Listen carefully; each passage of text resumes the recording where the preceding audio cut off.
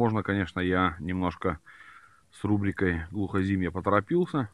Снег выпал и сошел. Но, тем не менее, уже поздно. Смотрите видео про печку. Так, ну вот, новая печка проходит испытание. Видите, что она без классников, подовая.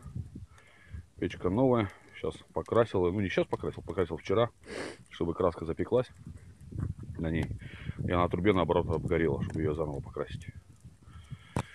Вот, вот такая печечка. Ну, а как я ее делал, смотрите. Привет моим подписчикам, случайно зашедшим на канал. Надеюсь, вы это дело исправите и подпишитесь. Это одно из, э, одно из видео э, рубрики «Глухозимье». Э, сезон почти закончен. Там находки были по мелочи, но, в принципе, э, я не считаю нужным, что так, что там мелочь какую-то выставлять.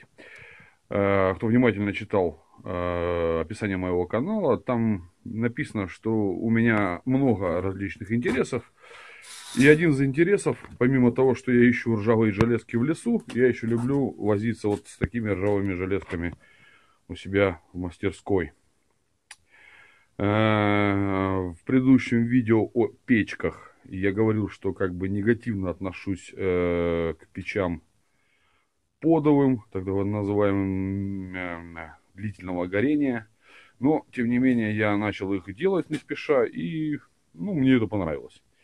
Людям нравятся такие печи, люди их покупают, поэтому я, скажем так, их не спеша делаю. Ну вот я разжился трубой 529. И это будет очередная печь. Печь именно длительного горения. Сейчас я набросаю примерно, что получится, э, точнее, какая печка будет. Соответственно, ну это... Ой. Так, что-то я тут... Значит, круг. Вот эта печь, соответственно. Да что это китайские мелкие, блин. Ножки. Я не отказываюсь от э, идеи э, перегородок внутри печи. Э, то бишь перегородка одна будет. Она будет вот так расположена. Здесь не будет колосников. Э, ну, то бишь горение будет происходить непосредственно вот в этой части без, без колосников, то бишь на дне. Почему она подовой называется, на дне печи. Э, так, ну это вот, так она будет, естественно, не так коряво, но тем не менее, так она будет выглядеть спереди, а сбоку она будет выглядеть вот таким образом. Так, значит, перегородка будет вот так расположена. Здесь будет дымоход. Здесь будет дверка топливника. Ну, соответственно, ножки. Ну, это все мелочи. Ну, эта схема. Размеров, опять же, не даю. Все делаю исключительно по наитию. Как мне, как мне душа ляжет, так я и буду все это делать. Ну, для начала нужно распилить вот этот вот кусок метровый, даже чуть побольше, 529 э, трубы. Смотрите. Так, вот продвигается не спеша изготовление печки. Получается от края, вот до этой первой полосы, отметил 500 э, миллиметров. То есть печка будет глубиной, ну да, где-то 500 миллиметров. Ну, сейчас начинается самое интересное. Резко металла толщиной 8 миллиметров. Разметил таким образом трубу по центру. И здесь примерно 20-21 сантиметров. Но опять же, как я и говорил, делаю исключительно так, как мне нравится или хочется. Так, сейчас поясню, для чего вот это и вот эти полоски. Внутреннюю полоску не считайте, ну, как бы это я для себя делал. Так, сейчас смотри. Опа. Получается...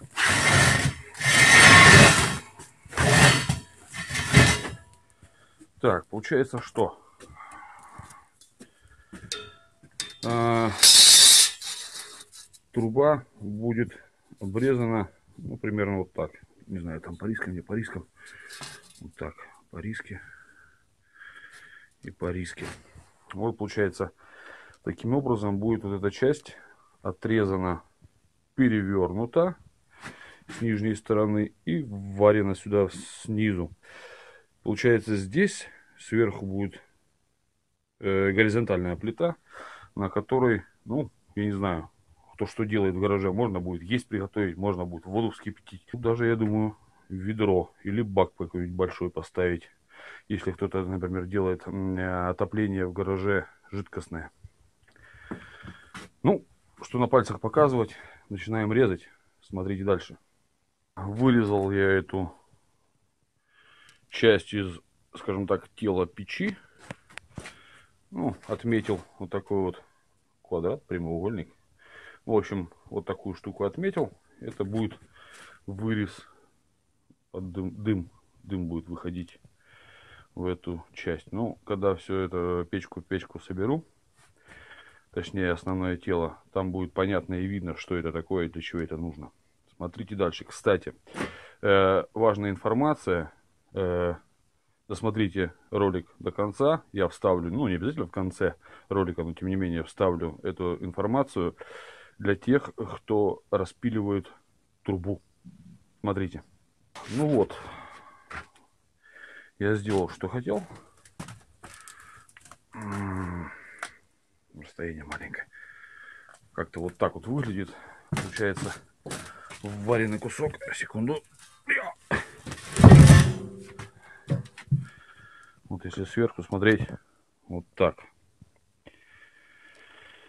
Ну, вот очертания печки-то уже просматриваются. И здесь, соответственно, будет плита из пятерки. Основное пламя тут. Получается, все тело, почти все тело будет из восьмерки. Прогорать будет достаточно долго. Да, кстати, не буду страдать фигней по поводу того, что кто будет резать трубу, возьмите и приварите что-либо, что ее будет стягивать. Потому что когда сделаешь один надрез, она раскрывается. Вот так вот, даже почти не напортачил со швами. И какая шовина, вон там одна дырочка есть. Остальное вроде ничего. Криво, но извиняйте. Учился варить сам. Так, как ее еще поставить? Вот.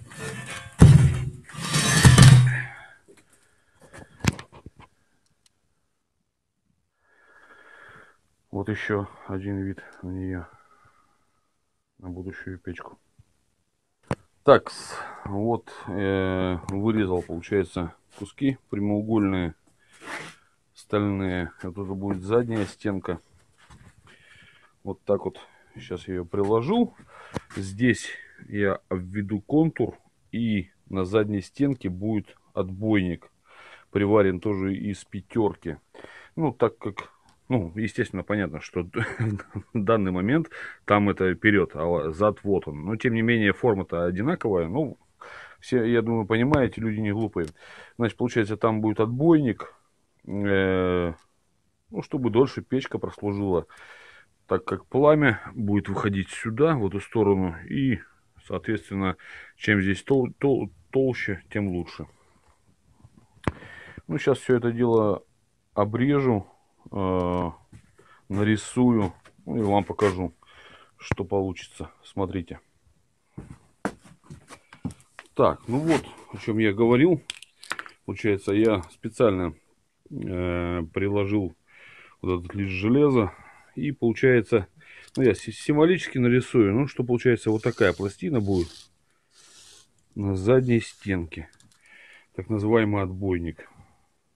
Так как стенка самой печки 8 э, миллиметров, я думаю, здесь накладка будет не лишней. Ну, сейчас начинаем ваять. Смотрите дальше. Так, друзья, вот получается вот таким макаром будет отбойник на задней стенке. Ну, прошу прощения, если чуть-чуть хреновенько видно, но, тем не менее, я думаю, понятно, да, всем? Так, еще э, хотел о чем сказать. Э, хотел сказать о разлиновке. Так, дрова тут в сторонку. Разлиновки листов, например, да, вот лист, который я, кстати, не... Э, в общем, купил я такой лист. Он, у него стандартный размер э, 1510 на э, 6000. Ну, естественно, 6000 мне не нужно, то бишь 6 метров. Я покупаю, ну вот получается кусок вот такой. Значит, получается здесь 1000. С этой стороны 1510. Э, разлиновка на эту печку вышла у меня вот такая, чтобы как можно больше ну, экономить делового металла. Э, здесь я отрезал, получается, 470. Получается, это две стенки передняя и задняя. Маленький кусочек остался обрезки. Здесь отрезал еще один кусочек. 390, по-моему. Да, 390. Это получается верхняя, верхняя плита, э, которая будет сверху на, наварена на саму печку. Э, задняя стенки кусочек, который вот этот. И часть остается, э, вот она лежит, это будет как раз именно дверка топливника. Ну, стараюсь экономить деловое железо. Естественно, кстати, видите, как ее режут газом. Мягко говоря, не очень ровно. Ну, придется обрезать. Но, тем не менее, железо деловое пытаюсь экономить как только можно. Такой лист, кстати, стоит, ну, я так думаю, для кого мало, для кого много, но тем не менее где-то в районе двух с половиной трех тысяч рублей. Ладно, смотрите дальше. Сейчас приварю вот эту вот пластину и уже начну сбор самой печки. Смотрите, оставайтесь со мной. Я надеюсь, вам вот так вот видно будет. Вот она пластина вварена в заднюю часть, в заднюю часть печки. Ну да, тут света маловато, но уж как есть. Подождите секунду, сейчас попробуем чуть поменять. А, хотя тут бесполезно что-то менять. Но, тем не менее, понятно. Вот она пластина, вварена в заднюю часть печки. То бишь, это место достаточно долго не прогорит. Здесь сто процентов не прогорит, потому что здесь э, загнано так, что будет слой золы, пепла. Ну, в общем, основное пламя будет играть в самой печке, бить 8 миллиметров. Ну а насчет вот тех мест еще нужно что-то подумать. Продолжаем. Так, ну вот так вот выглядит задняя часть. Провары видно. Надеюсь, хорошо. Ну а теперь начинается самое папье-маше. Вырезание дверок и уплотнительных там всяких штук, если я все-таки соберусь их делать. Вот печка все-таки вырисовывается. Так, ну все, в общем, в общих чертах я собрал печку, как бы основную часть. Ай-яй-яй, мой телефончик этого дела особо не запечатлит. Но тем не менее, вот получается передняя задняя стенка приварены. Осталось приварить верхнюю стенку. Сейчас, секундочку. Ай-яй-яй, тут все горячее. А, нет, не здесь. Вот здесь все горячее. Точно. Уа! Вот передняя стенка, где будет дверка. Ну вот. Ну, смотрите дальше. Вот так вот получилось. Сверху, как я и говорил, из пятерки лист приварил. Ножки сделал из профиля 60-го по два штуки. Вот печка пока выс... Печка смотрится вот так. Пока мест. Ну, Осталось только трубу в передней части. 115 будет Ну и заним- заниматься самым таким мелким, мелкой работой, это дверкой. Дверка будет, ну, в общем, увидите, смотрите. Так, ну заключительные этапы уже не показывал. Дверка без изысков, без особых. 89 труба. Перекрывалка на пружинке с болтами. Ну, в принципе, засов не мудреный. Конечно, было бы в идеале еще э, по периметру дверки наклеить э, шнурок э, с несгораемым, э, фу, блин, несгораемый шнурок.